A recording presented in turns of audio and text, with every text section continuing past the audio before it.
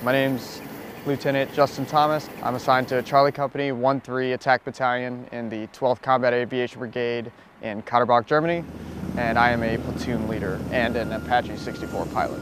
Most of our operations involve flying and maintaining. So it's taking care of my 15 Romeos that are my maintainers and then my warrant officers that are all assigned to me and my platoon uh, that are my pilots. The overall mission of Swift Response Right is to uh, enhance our readiness as a attack aviation uh, battalion and as a combat aviation brigade. It's incredible uh, being able to work with all of our NATO partners and uh, getting to do some really unique exercises and some really interesting and complex mission sets is uh, quite a rewarding job. The Greeks have been nothing but gracious to us. It has been much better than I could have hoped for. The opportunity to do our job is, uh, is just something that's pretty incredible. So yeah, thanks to those guys for sure.